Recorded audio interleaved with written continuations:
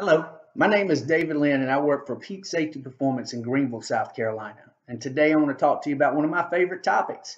It's about how to, to build a safety framework that helps you be successful and achieve your goals. And it reminds me of what it was like when I first started my career working with OSHA back in 1992.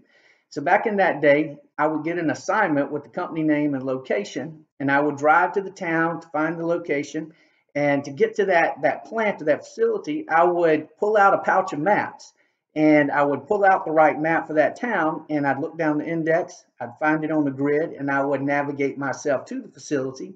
And then the most frustrating part was to refold the map. And so it was a very cumbersome process.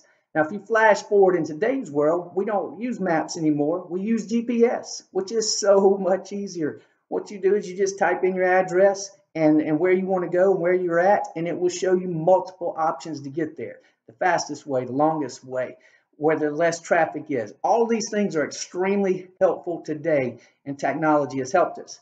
Now, these two examples give you a good idea what it's like building a safety framework sometimes. When I went to work for, for Duracell after OSHA, I felt like I was operating like a pouch of maps. I had all the information, I knew safety, but it was very cumbersome putting it into place. And so it was very frustrating. But as time progressed, I, I, began to learn different principles and different practices that helped me. And it became more like a GPS. I, I could identify where I'm at, understand where I want to go, and with the right framework, I could follow the blue line to get there. And so these blue line type principles are things like management commitment, employee involvement, worksite analysis, training communication, and controls and defenses. Those represent blue line type principles that we apply practices that, that make it obvious that these are important to your company.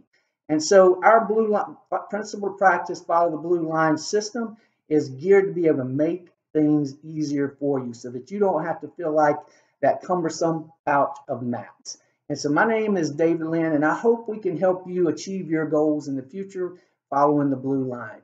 We're at Peak Safety Performance in Greenville, South Carolina. Thank you.